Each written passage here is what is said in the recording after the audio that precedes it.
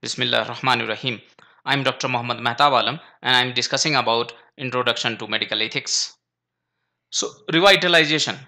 In order to define, teach, and access professionalism, it is imperative and understand generational differences, pinpoint, conflict, and determine a more effective definition of professionalism acceptable to all individual from different generation eschew different goals.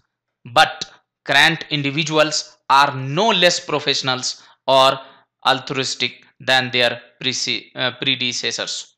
Their core of professionalism remains intact. Revitalizing professionalism like faculty development criticals system of evaluations professional tone and awareness set from the top and a strong institutional support.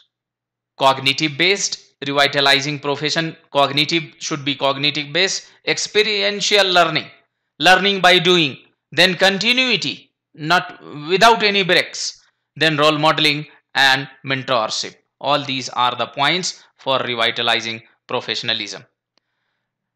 The time honored characteristic of a profession has three special characteristic three main characteristics like specialized education, autonomy to set a standard, and commitment to services.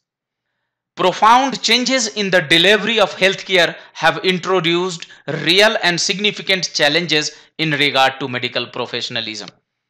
Then, genuine medical professionalism is in peril.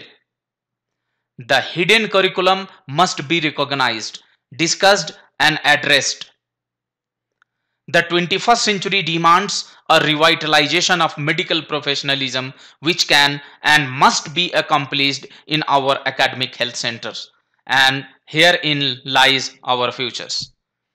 At its best, a professional life enables the individual freedom to find fulfillment as one advances the well-being of society. The person who succeeds in becoming a professional, mastering its standard and aims achieves a substantial focus for living. And that's all about professional conduct. If you have any questions you can ask